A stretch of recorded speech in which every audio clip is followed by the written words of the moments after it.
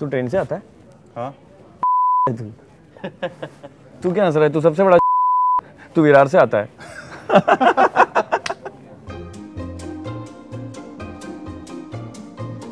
सुबह सुबह दिमाग खराब कर दिया यार अंकल ने।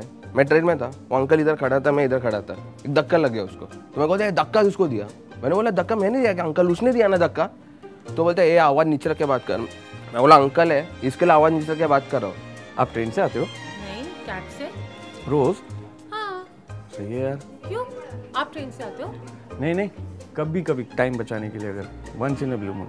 बहुत रेयर उसका ले आवाज़ नीचे रख। बोला अंकल मेरे को भी बोलने को आता है। ठीक है ना? तो अंकल बोले ए मारेगा देखो मैं बोला मैं भी मारेगा।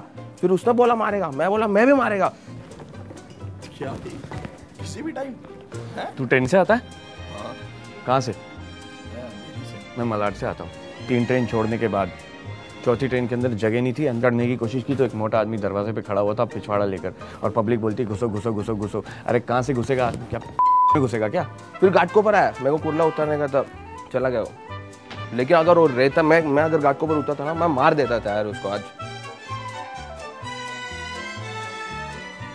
क्या है? क्या दिख रहा है? कि एक ही जूता है ना? हाँ ये ले, सही है? रख ले। कुरला में हुआ मेरे साथ। अच्छा खासा ट्रेन में चढ़ा था ऑफ़िस आने के लिए। एक अंकल ने बराबर यहाँ पे यहाँ पे पैर दिया और एक पैर का जूता गायब।